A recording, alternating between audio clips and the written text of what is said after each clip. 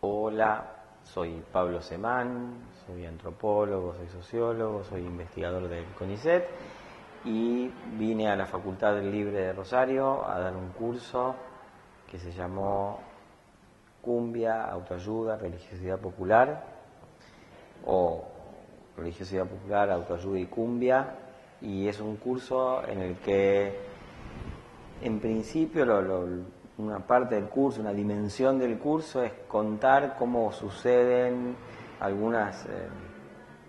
escenas y momentos de el consumo y de la producción de los bienes culturales que están presentes en, las clases populares. Eh, y la segunda dimensión del curso, eh,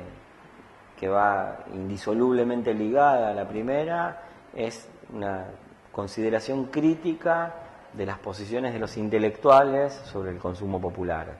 Yo recorro ese camino, que, digamos, esos dos momentos del camino, eh, simultáneamente, por un lado, mostrando qué es lo que sucede verdaderamente con el uso de la cumbia, de los libros de autoayuda, eh, con la religiosidad popular, y al mismo tiempo eh, contando, narrando, trayendo el recuerdo de las posiciones de los intelectuales más clásicas sobre estos temas y en qué medida esas posiciones, a mi juicio, me parecen que están llenas de preconceptos que son propios de la clase social y del grupo cultural al que pertenecen los intelectuales. Entonces, me interesa al mismo tiempo describir lo que pasa en el mundo popular, pero también mirar críticamente la mirada de los intelectuales, porque mm, en tercer lugar, lo que me interesa y, está en el fondo de mis preocupaciones, es una cuestión, si se quiere, más abstracta, que tiene que ver con cómo se hace sociología, cómo se hace ciencia social, eh, que tiene que ver con despegar lo más posible el juicio sociológico de los juicios estéticos y los juicios religiosos que uno tiene, o por lo menos ser consciente de que lo que uno dice en términos sociológicos eh, está determinado por posiciones que uno tiene, aunque crea que no tenga, en el campo religioso y en el campo estético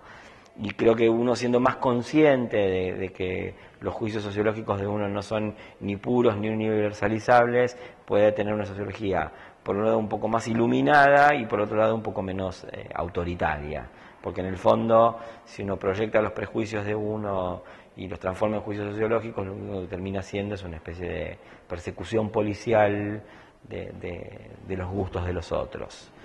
Así que ese fue el camino que recorrimos en tres clases donde fuimos pasando por esas diversas dimensiones todo el tiempo. Y eh,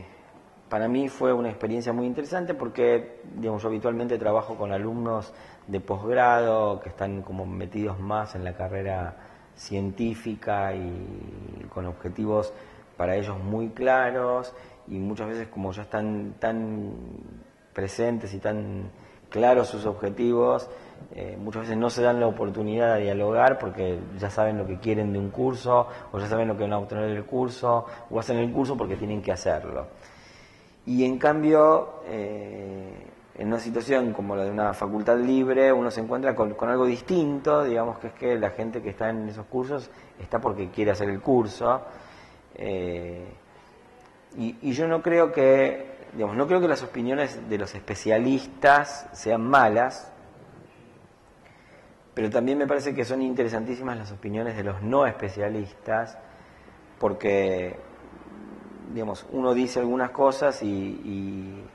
las personas cuando preguntan dan testimonio de, sobre la manera en que se puede entender lo que uno dice, entonces tiene un retorno diferente de lo que uno dice y lo ayuda a pensar bastante. Así que en ese sentido, para mí fue una experiencia muy rica porque escuché preguntas que eran respuestas diferentes de las que yo tengo habitualmente a las cosas que yo digo en, mis clases en, en la universidad y en el posgrado.